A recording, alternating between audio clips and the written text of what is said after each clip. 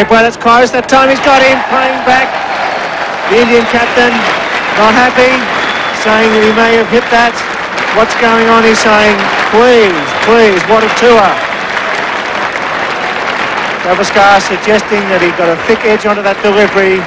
The man who's walked so often the series, very annoyed with that decision.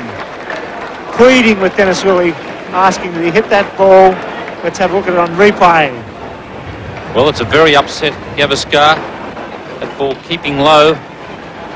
He was very determined about the fact, or very definite about the fact that he had hit it.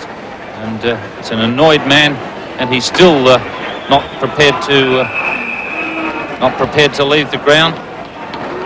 And wow, what a sensation, Ian. Cutting in there, he's taking his opening bat off with him. Does that mean he's declared?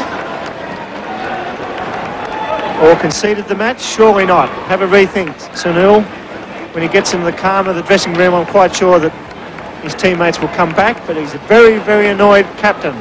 An embarrassing moment for Gavaskar or an early sign of the belligerence that was to surface in the Indian team.